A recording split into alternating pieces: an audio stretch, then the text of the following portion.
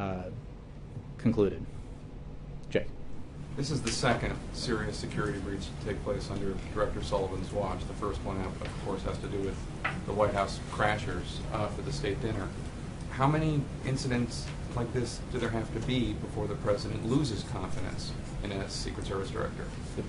I will restate what I've said, Jake. The President has confidence in Director Sullivan. Uh, He has uh, great appreciation and regard for uh, the men and women of the Secret Service who um, perform their duties admirably and at, and at risk uh, to their own lives.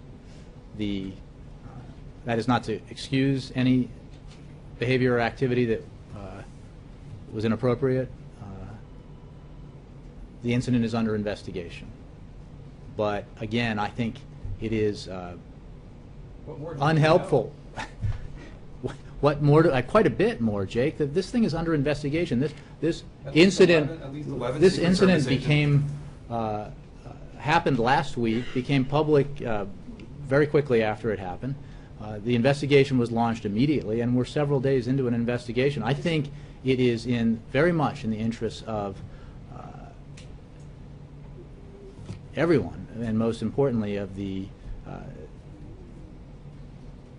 United States and its security service here, the Secret Service, with regards to uh, the, the mission it um, is charged with, uh, to allow this investigation to uh, be completed before we make judgments based on conclusions we don't yet have.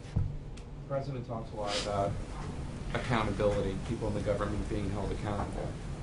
It seems as though incidents happen in this administration and have happened in this administration, and people are not held accountable. Jake, Maybe lower level Let, people. let me let me just I, I I know you were covering this yesterday, but based on the reports I read that I think you and others filed, uh, people have already I'm not only talking- been held accountable or have held themselves accountable in this very incident that has been under investigation for a few days. So Okay. I think the swift. not have a plaque on his desk that said the buck stops there.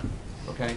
Jake, the point is that their accountability rises. People are in charge of agencies, and they are held accountable for the behavior Right. of the people that they are in And charge of. perhaps, Jake, perhaps, it would be in the in- interest of uh, a complete and thorough and fair investigation, uh, not to uh, make determinations about the conclusions of an investigation before they've even been reached.